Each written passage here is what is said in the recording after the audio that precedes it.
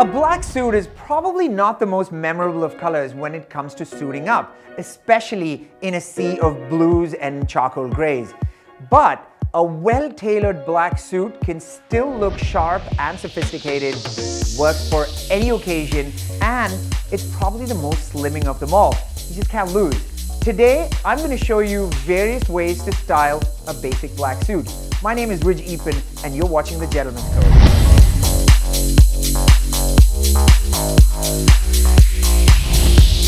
Alright, first up we have a black two-piece suit with a white shirt, black tie, and a white pocket square.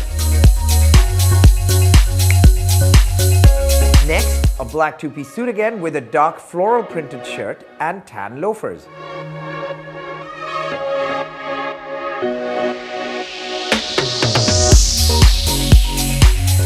A black suit with a full sleeves denim shirt and brown leather derby shoes.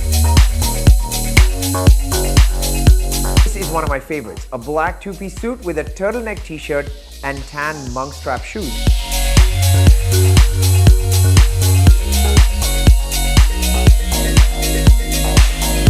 Nothing says cool like a well-fitted black jacket or blazer worn over a pair of distressed jeans, a t-shirt with a chest print, white sneakers, and a matching pocket square.